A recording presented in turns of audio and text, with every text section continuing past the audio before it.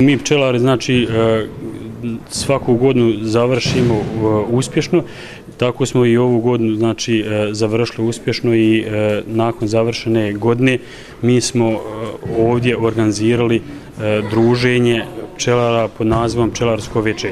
To je po drugi put e, druženje pčelara i imali smo isto tako druženje prošle godine na Starom gradu, tako da nam se to pokazalo e, dobro i želimo jednostavno da to pređe u tradiciju, da okupljamo pčelare na jednom mjestu, jednostavno kad završi pčelarska sezona da možemo uzeti za sebe e, slobodnog vremena i oduška da se iskupimo, sravnamo račune kakva je bila godina, da li uspješna, da li dobra, loša i tako dalje i da možemo e, izvršiti određene pripreme za narednu pčelarsku godinu. E, mi smo ovdje večeras u ovim prostorijama galerije e, restorana Mitch Hit, Eh, okupli se. Drago mi je da, da se odazvao veliki broj pčelara, naših gostiju.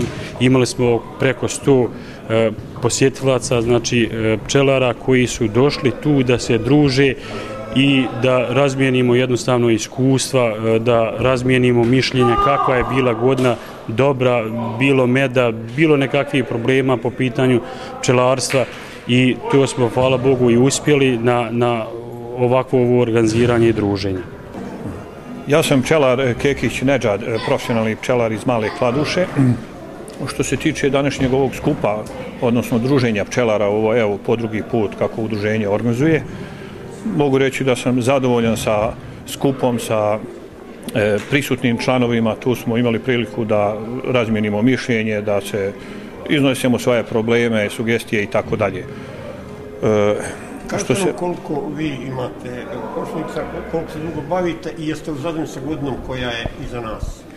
E, ja se bavim punih 15 godina pčelarstvom. Posjedujem 110 pčelnije zajednica i proizvodim sve pčelnije proizvode. Znači, e, pored meda, e, vosek, polen, propolis, matičnu mliječ, zatim sam i proširio paletu proizvoda, znači od pčelnih proizvoda sam e, proširio, e, da kažem, apiterapiju, znači imam ukupno 18 proizvoda koji su nastali od pčelnih proizvoda. Imate li posticaj podrške za taj posao? E, imam. Imamo poticaj kantonalni i federalni, jer ja sam i jedan od proizvođača koji prodajem na veliko otkupljivačima, kao što je API Medisanskog mosta. Aplicirao sam, prethodnih godina sam dobivao poticaj, kao i kantonalni pokošnici. Još to ove godine nije ostvareno, ali nadam se da će biti, uredno smo predali dokumentaciju, pa sad čekamo. Ko je osim vas još angažira na poslu koliko, i koliko ovaj, to može zadržati vaš porodic? Pa, da kažem, ja i supruga smo aktivno tu uključeni, djeca su onako sezonski sporedno.